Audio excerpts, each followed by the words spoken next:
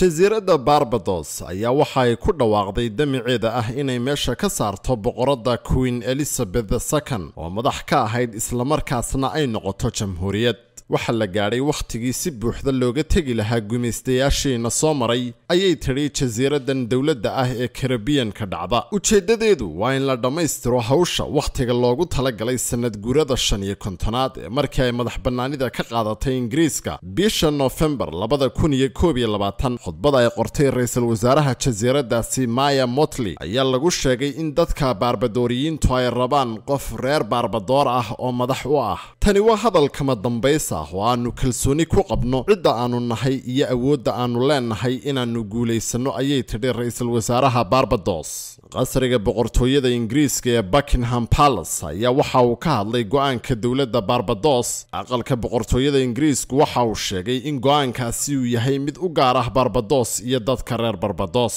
Ilo xogogaal ah oo ku sugan qasriga reer boqorka ingiriiska ee buckingham palace ayaa waxay sheegeen in fikraddaasi aanay ahayn mid wakhti badan lagu bixiyey ka fikiriddeeda balse hadalhaynteedu badnayd muddooyinkii u dambeeyey taasi oo xitaa lagaga hadalhayay fagaarayaasha. Jasiiradda barbados ayaa ka mid a jasiiradaha ugu dad tiro badan uguna qanisan jasiiradaha dhaca karibiyanka waxaanay xorriyaddeeda ka qaadatay britain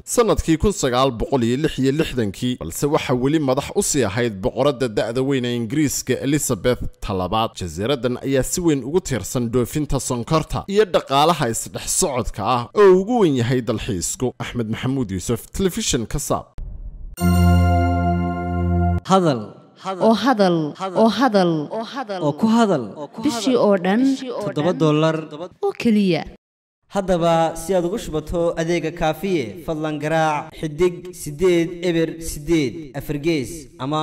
xidig laba eber laba tayo waa telesom